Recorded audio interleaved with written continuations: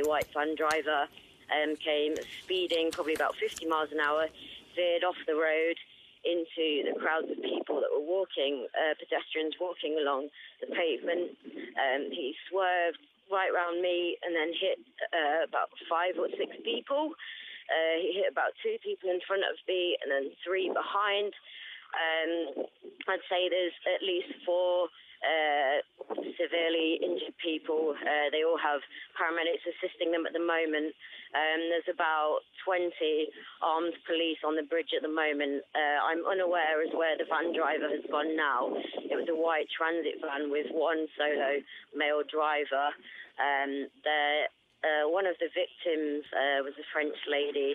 She's 45 years old. Um, she had a boyfriend with her who um, we can't actually find at the moment, uh, which is obviously very worrying. But yeah, nobody really knows what's going on. All the traffic has been halted.